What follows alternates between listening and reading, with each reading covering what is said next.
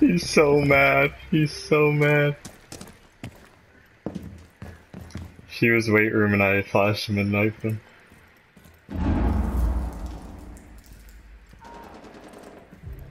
He fucking left.